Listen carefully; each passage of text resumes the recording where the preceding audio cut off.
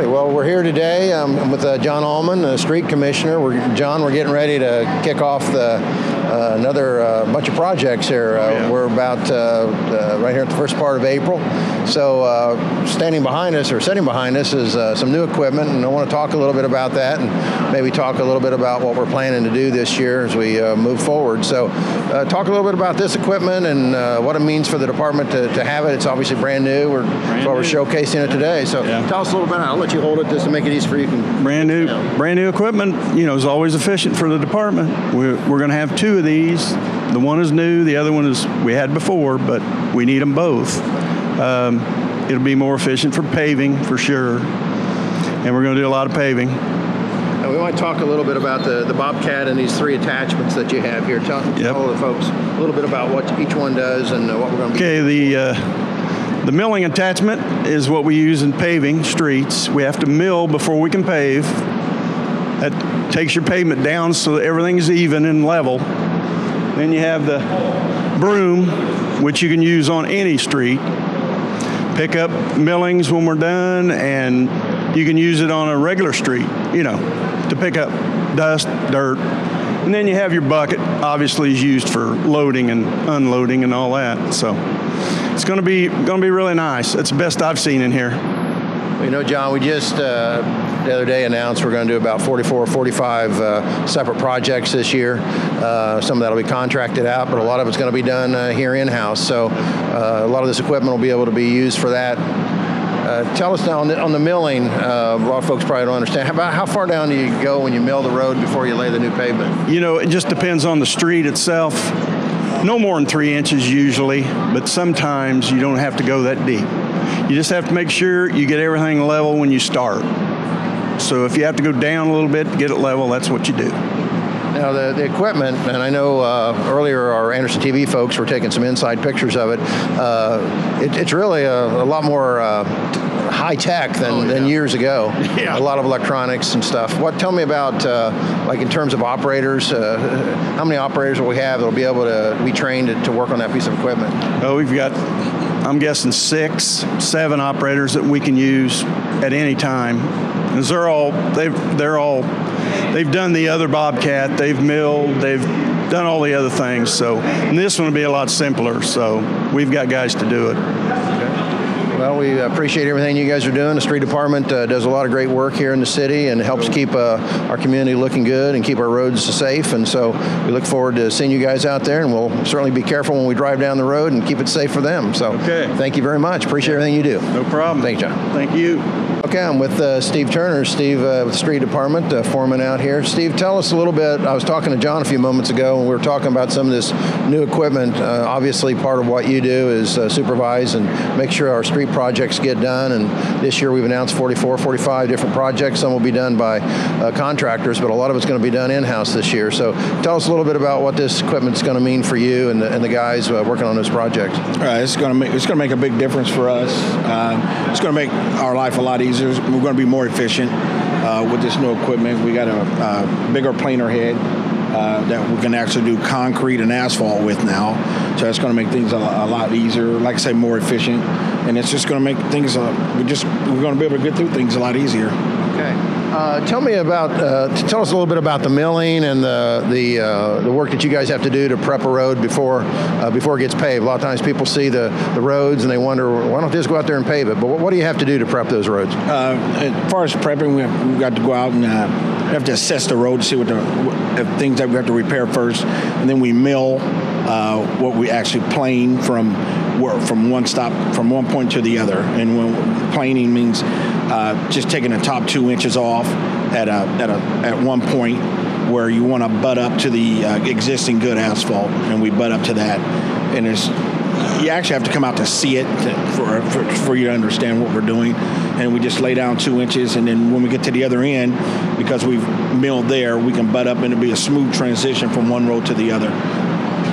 You know, one of the things I might ask you about, because I know a lot of folks uh, this time of year, of course, we're here in the first part of April and we're getting ready to be able to do regular paving with regular asphalt now, but a lot of folks call us and ask about the potholes. Uh, you might talk a little bit, and explain to folks the difference between what we do with our cold patch and, the, and then what we do with asphalt and why there's a difference and why sometimes that cold patch doesn't stay in there. Well, yeah, cold patch is just a temporary patch. It's just to get you through the winter and so it's going to come out. It's just it's just what it does. But once you get hot mix with, with asphalt, that's a permanent fix. Uh, what happens with cold mix is once it rains, the surface, the groundwater will tend to come up, and it'll just push the cold mix out. And uh, and the asphalt, the the the, uh, the, obviously the hot mix, the asphalt, uh, that's not available all year long, right? No, it's not. Uh, they we're usually shut off anywhere from uh, November 1st until depending on the weather, if it breaks until March 1st. And I guess that's just all part of uh, enjoying the four seasons of Indiana, right? Absolutely. You just never know here. Okay. Well, listen, we appreciate everything you do and all the guys. We know you put in a lot of time and a lot of effort, and you do a great job. And we look forward to, to seeing the progress as we move forward this year. Absolutely. Thanks, Steve. Thanks, sir. Thank you.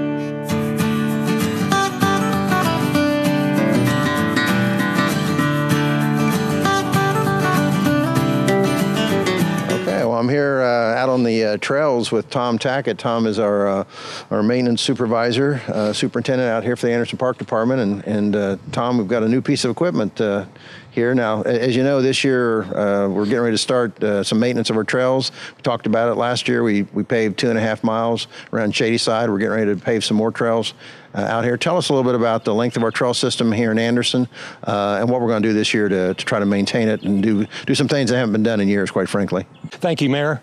Uh, the trail system in Anderson, uh, the length of it is right at 9.6 miles. Uh, from east to west, uh, different lengths and different segments. Uh, this year, we've we want to put together, and we have put together a trail maintenance crew to help us uh, maintain the trails uh, better and more and more often. Uh, we've brought on two men. Um, Terrence Graves and Ricky Legel. Uh, I've asked for them specially. They worked for me before. Uh, I believe they'll be a good asset to our trail system. There are times when we'll have to add more men and more equipment, depending upon uh, the job and any damage that that occurs uh, during the season. But I think they'll they'll do real well. What we want to do here is is um, every day will these two men, at least these two men, and the equipment will be on the trail system for that whole length of the trail. Uh, we want to clear out a lot of the honeysuckle um, and other debris that's along the trail that encroaches the trail itself. Try to get more of a berm area, three to five feet at least, open area on each side of the trail so it's not enclosed, so people don't feel entrapped on the trail system, and it gives it a much uh, better view and, and, a, and, a, cleaner path. Um, and so that's our our attempt.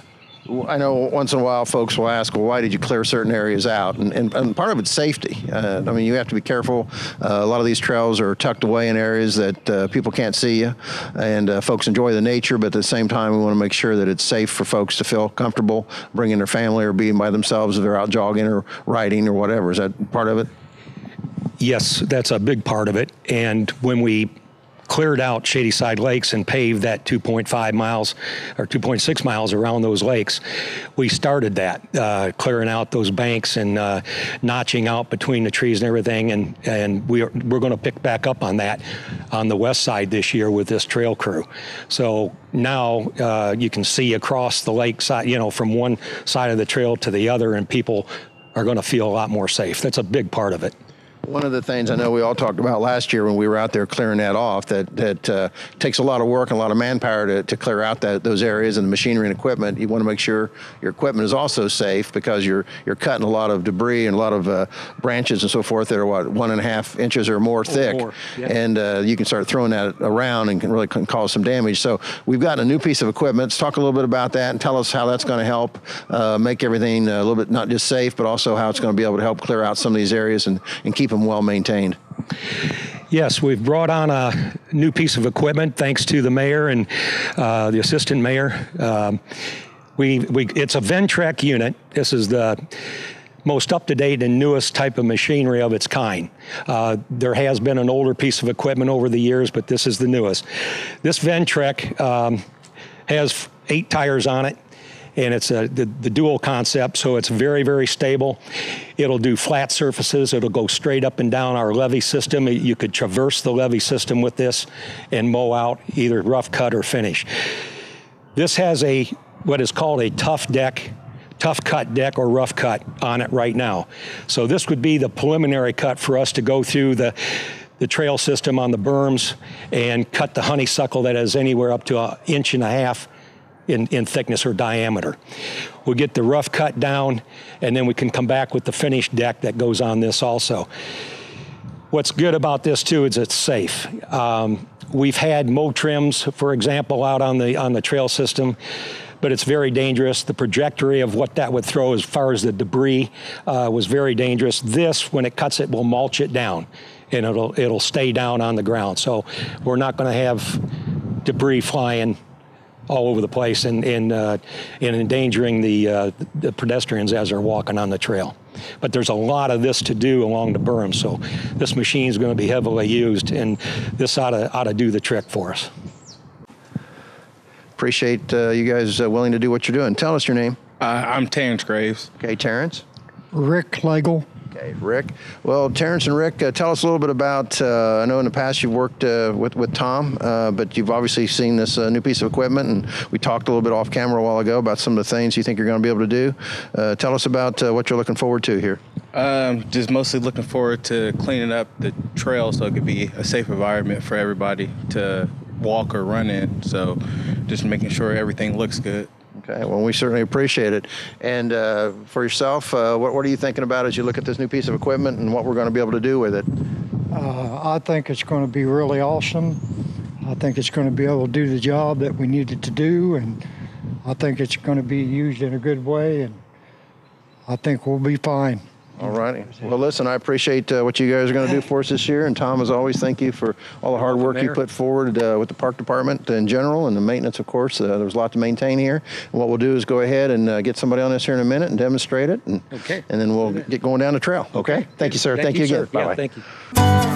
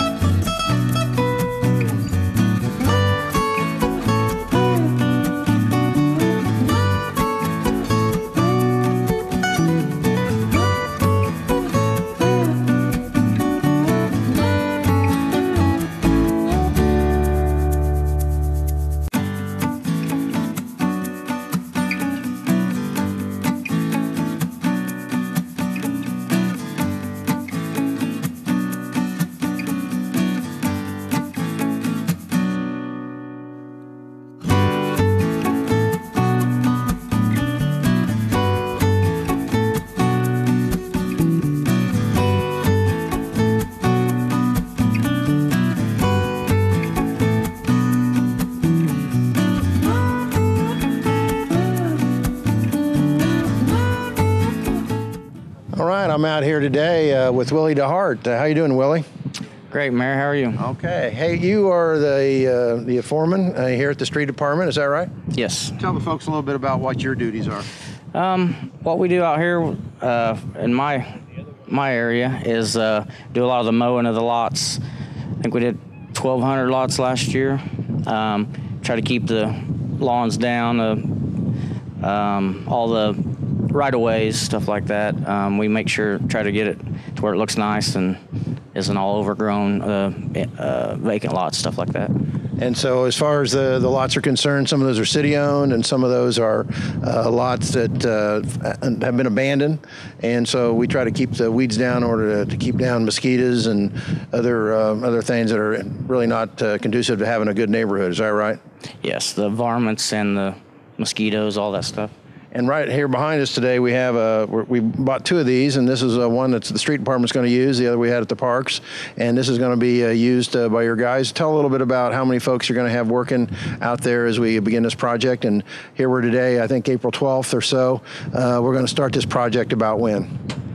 Uh, we should be starting here within a week or so, trying to get this going. We'll have about 10 to 12 guys at all times out mowing, keeping the lawns down. This new addition is going to be great for us, um, help us be more efficient, get stuff. It'll get a little bit bigger. Uh, Bigger stuff without having to get the big tractors, bush hog like that in there. This will take over where our little mowers can't get, but this is going to be a great addition to our being efficient with what we do out here. Well, listen, well, I appreciate what you do, and uh, of course, our commissioner um, uh, John's over here somewhere. Where, where's John? Jared John Allman, and there he is, standing in the background. And we appreciate everything that everybody at the street department does. You guys always do a great job, and and uh, we know that our weather's finally breaking, and we'll be able to go ahead and uh, get out there and start getting some of these yards mowed uh, and keep the weeds down this year. Thank you very much. Appreciate it. Thank you.